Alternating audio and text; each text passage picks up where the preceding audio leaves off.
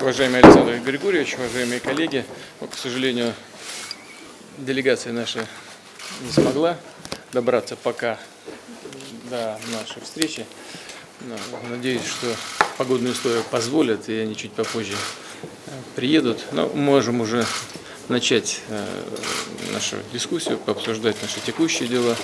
Я думаю, что выйдем из-за рамки тех вопросов, которые являются наиболее актуальными сегодня. У нас вопросов много. Мы с Александром Григорьевичем уже практически час или полтора даже да, затронули много вопросов, которые представляют, как в таких случаях говорят, взаимный интерес.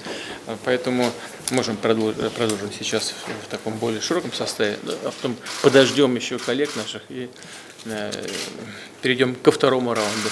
Я думаю, что сегодняшний день, безусловно, будет полезным. Хочу вас поблагодарить, Александр Григорьевич, за то, что вы приехали для этой встречи.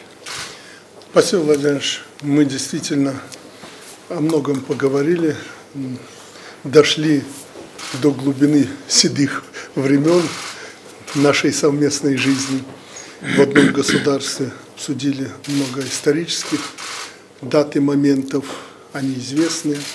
И не только обсудили вопросы, как Владимир Ильич сказал, представляющие взаимный интерес, но которые касаются и многих наших соседей, стран бывшего Советского Союза. Та политика, которая сейчас проводится нами, ими, общем, о многом поговорили, ну и дошли до современности.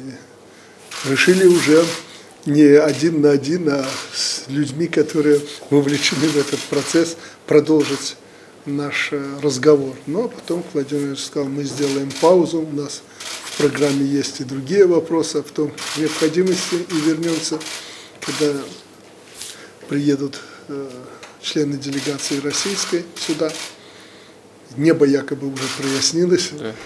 поэтому тогда мы продолжим наш разговор. А вообще есть о чем говорить, есть над чем работать.